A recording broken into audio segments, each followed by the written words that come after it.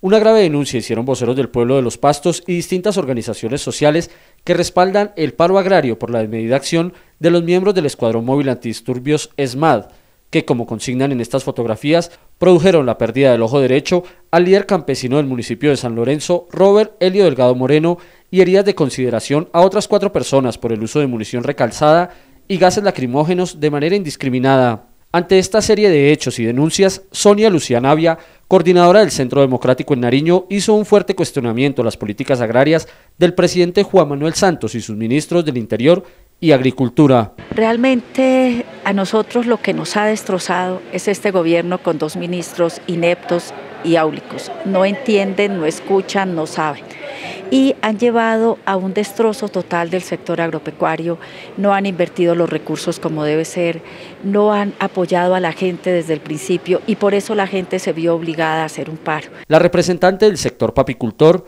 advirtió que ya es hora que el presidente Juan Manuel Santos se tome en serio el país y comience a gobernar. Y que nos tocó como si fuéramos japoneses hacernos el harakiri. O sea, cuando paramos estamos perdiendo más nosotros todavía porque no podemos sacar la leche, porque no podemos sacar las hortalizas, porque no podemos sacar la papa. O sea que nosotros mismos eh, tuvimos que decirle al gobierno, mire, nos está acabando y nosotros aquí nos estamos desesperando porque no podemos continuar.